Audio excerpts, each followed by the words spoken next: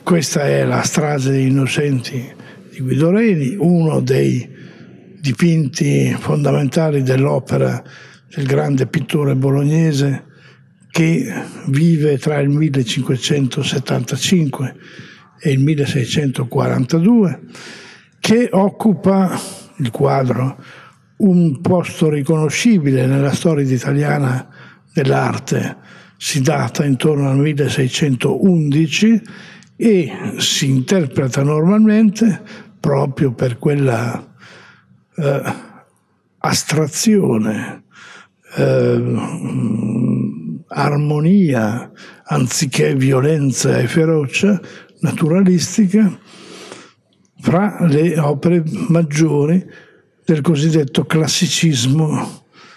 Eh, e poi si aggiunge classicismo vaticano perché si, si intende eh, sottolineare la particolare efficacia poetica di un atto crudele, secondo la narrazione liturgica dei Vangeli, ma che qui, nell'opera di quest'artista in questi anni, passa attraverso una uh, interpretazione uh, più armoniosa e dolce e con tutto ciò non cessando tuttavia di essere espressiva e a modo suo violenta, ma violenta come? Come un atto teatrale, come un atto appunto di finzione immaginativa.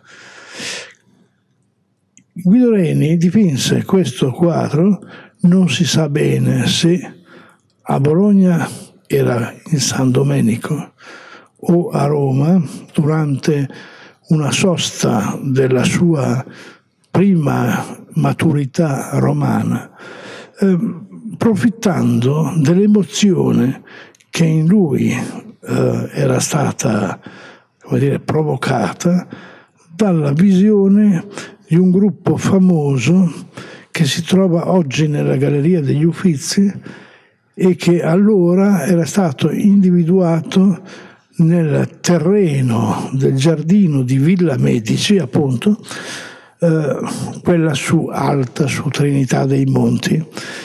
Il gruppo delle Niobidi, delle figlie di Niobe, e il loro strazio, il loro, la loro uccisione, un tema classico e pagano che diveniva nella strage innocenti, riprendeva vita e appunto non poteva, state le origini, essere altro che, altro che una sorta di eh, dimensione più cantabile di un avvenimento forte, più armoniosa che non feroce. Il quadro è per la prima volta e improvvisamente prima di altri che forse sono altrettanto significativi nella carriera di Guido, una sorta di eh, dipinto di grande equilibrio anche formale. Mm, forse serve dire che quella eh, punta di quel pugnale che l'aguzzino regge nella parte superiore del quadro è come il punto della stadera, cioè della, di una pesa, che regge due parti uguali per tensione e quantità figurativa. Le due parti sono evidentemente ispirate al gruppo di Niobe e delle figlie, come vi ho detto, ma nello stesso tempo rientrano a far parte, ecco perché classicismo vaticano, di un mondo che nei musei vaticani, nelle raccolte vaticane che nascono nel 1505 per essere chiari, trovano raffigurazioni come queste che hanno luogo per lo più nelle mosaici di tipo teatrale, sono cioè maschere teatrali. Questa è la figura della prima donna che regge il bambino qui sulla, destra, sulla vostra destra, questa è anche la figura della donna dall'altra parte di questa equilibrata composizione che sta sulla sinistra.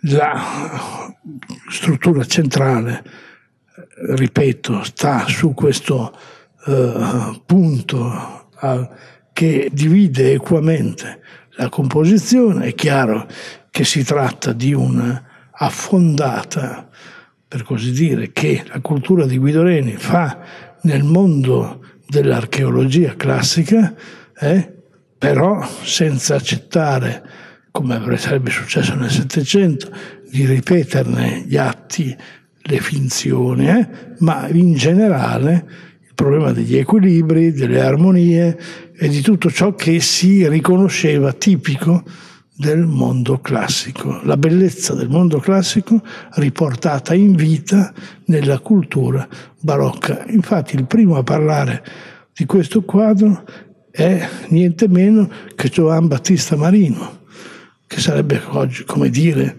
Arbasino scrive un pezzo per un bolognese, che non è poco. Ecco. Grazie. Ce ne sono come quello clamoroso della Santa Cecilia. Santa Cecilia dice che cantava plenis organis con tutti i suoi organi vocali. Certo. Chi ha tradotto, cioè San Gerolamo credo, ha tradotto, cantava con, e suonava l'organo. E di qui diventò la protettrice. Sembra mio figlio quando traduce latino.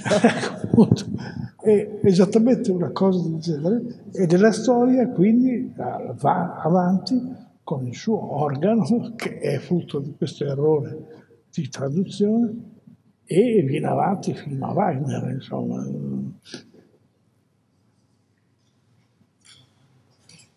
Questo è bello, poi hanno poi le stesse date circa, eh? deve essere un pochino dopo questo qua. Qui è proprio il... perché lui non è un classicista come Annibale Carracci che si rifonda, rifonda il classicismo guardando a Raffaello simultaneamente, ma lui proprio prende pezzi archeologici e li traduce.